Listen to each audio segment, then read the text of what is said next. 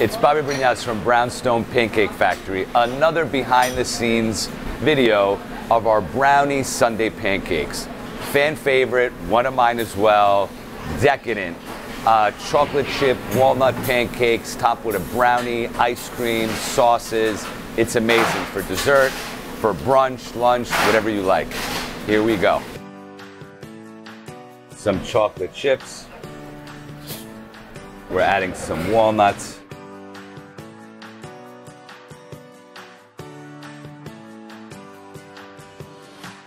So this is our base of our brownie Sundae pancakes, our buttermilk baked with chocolate chips and walnuts.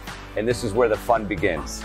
We're gonna add one of our freshly baked brownies, some vanilla ice cream right on top. We're gonna drizzle some chocolate, some caramel, and a little powdered sugar for a good measure. These are our brownie Sundae pancakes. Enjoy.